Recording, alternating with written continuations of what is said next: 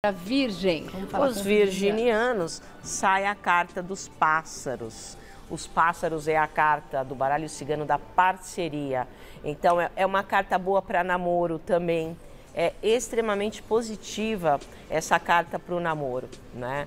E é uma carta de expansão, de leveza, de trazer a parceria com liberdade, né? Então fala de suavidade, de expansão, mas é uma carta extremamente positiva, união, apoio. Então, é uma carta muito boa aí para os virginianos essa semana. Semana linda para você do signo de Virgem. Vou fazer o seguinte, eu vou dar um recadinho e já venho, uhum. porque o próximo na lista são librianos. Então, uhum. espera um pouquinho que a gente já continua. Até tá já, bom. lindeza.